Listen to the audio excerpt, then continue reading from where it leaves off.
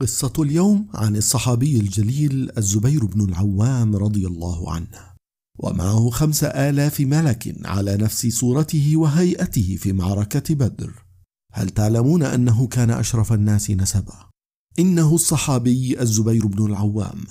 فكان ابن عمة رسول الله صلى الله عليه وسلم وعمته أخت أبيه هي السيدة خديجة رضي الله عنها وزوجته بنت الصديق. وأخت السيدة عائشة أم المؤمنين هي أسماء بنت أبي بكر وخاله حمزة بن عبد المطلب وابن خاله علي بن أبي طالب وابن خاله الآخر عبد الله بن عباس. هل تعلمون أنه أسلم في الثانية عشر من عمره وكان من السبعة الأوائل في الإسلام؟ هل تعلمون أنه أول من سل سيفا في سبيل الله؟ وهل تعلمون أنه كان من أمهر وأفضل الفرسان في زمانه؟ وكان لا يجاريه في الفروسية إلا خالد بن الوليد. فقد كان الوحيدين اللذين يقاتلان بسيفين ويقودان الخيل برجلهما.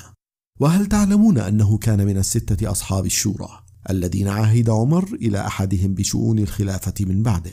فإذا اجتمع هذا الشرف كله في إنسان واحد فاعلم أنك تتحدث عن بطل واحد فقط. إنك تتحدث عن البطل المقدام والفارس الهمام.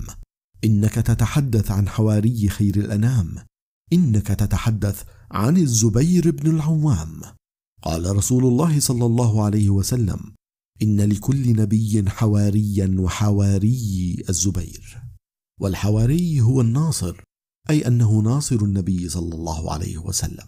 وإذا أردت أن تعرف لماذا نزل جبريل عليه السلام والملائكة في صورته وهيئته ولماذا كان حواريا لرسول الله صلى الله عليه وسلم؟ فارجع معي إلى السنوات الأولى من البعثة النبوية الشريفة وانتقل بروحك إلى مكة المكرمة. وهناك في شوارعها يرى الناس غلاما صغيرا يمد الخطى شاهرا سيفه والشرر يقدح من عينيه وكأنه شبل ليث مفترس.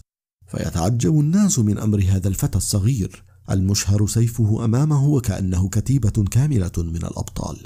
فيصيح الناس بدهشة بالغة.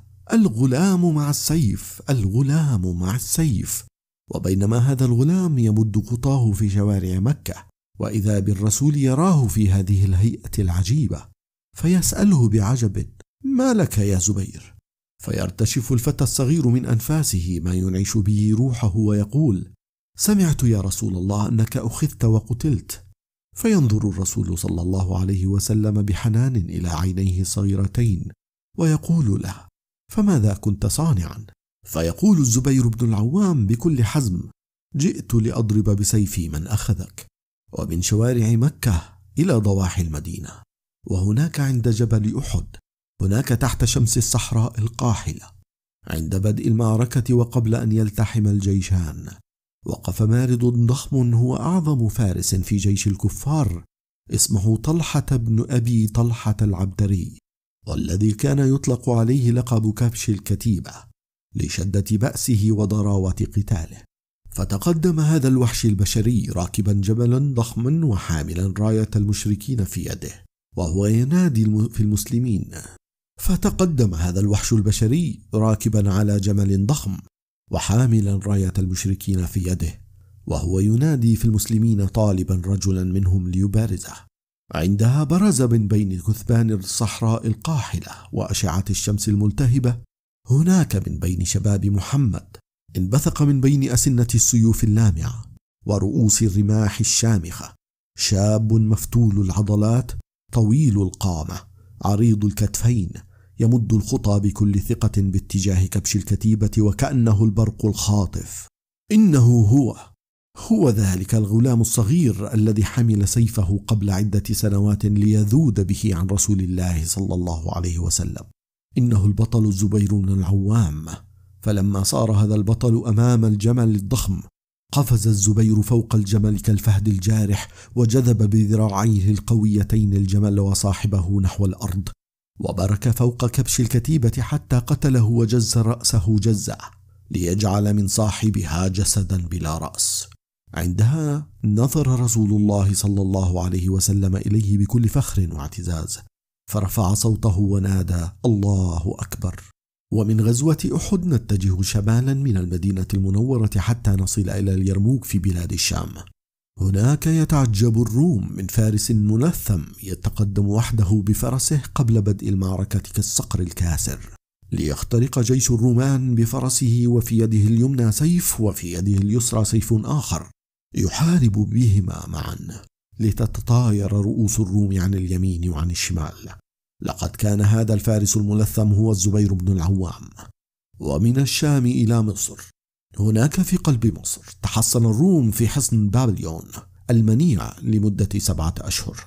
عجز فيها جيش عمرو بن العاص من إحداث أي اختراق فيه. عندها قرر الفاروق عمر أن يحل هذه المشكلة فأرسل إلى عمرو مددا يحتوي على رجال المهمات الصعبة في الجيش الإسلامي ومن بينهم الزبير بن العوام.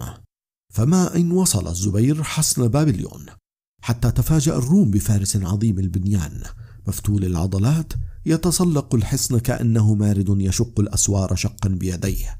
وما هي إلا ثوان معدودة حتى أصبح ذلك العملاق الإسلامي فوق أعلى نقطة في الحصن.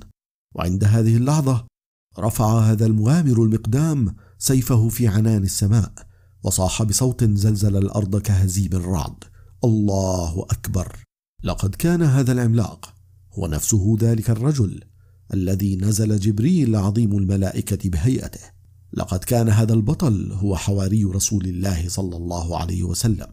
إنه البطل الإسلامي العملاق الزبير ابن العوام رضي الله عنه. ثم انحدر الزبير ومن معه إلى داخل الحصن وعمد الزبير إلى باب الحصن المغلق من الداخل ففتحه واقتحمه المسلمون من الخارج. لقد كانت هذه السطور غيضا من فيض لأسطورة حقيقية وفارس حقيقي. اسمه الزبير بن العوام. هذا الفارس العملاق هو البطل الذي ينبغي لشبابنا أن يقتدوا به ويدرسوا سيرته. فلقد انتهى زمان التبعية وآن الأوان لشباب هذه الأمة أن يعرفوا أبطالهم حق المعرفة.